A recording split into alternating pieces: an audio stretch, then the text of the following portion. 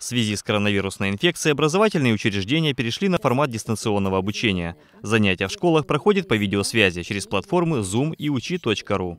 Учителя ведут занятия из дома. Домашние задания дети получают через WhatsApp или по СМС, если нет доступа к интернету. Успешно осваивает новый формат обучения и школа номер 43 станицы Северской.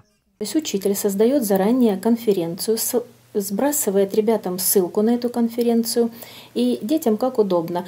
Пройти по ссылке можно, а можно через логин и пароль попасть на эту конференцию. Учитель принимает, и на экране дети видят учителя, учитель видит всех учеников класса, и они проводят урок.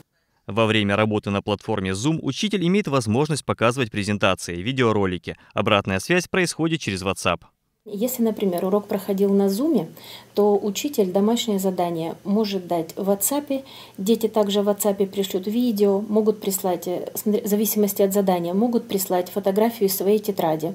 Также учителя дают задания на Решу ЕГЭ, это такие тоже образовательные платформы для подготовки к экзаменам, и на Решу ОГЭ. Учитель выставляет время, формирует сам работу на этой платформе, ребенок выполняет, и учитель потом проверяет. Онлайн-занятия проходят ежедневно и ничем не отличаются от обычных. Время урока сокращено до 30 минут. Ребята получают домашние задания и обязаны их выполнить срок. Невыход на связь – это пропуск урока. Педагоги звонят родителям и выясняют причины отсутствия ученика. Также в учреждении сейчас идет активная подготовка детей к экзаменам. Составлен график дополнительных заданий на платформе Zoom.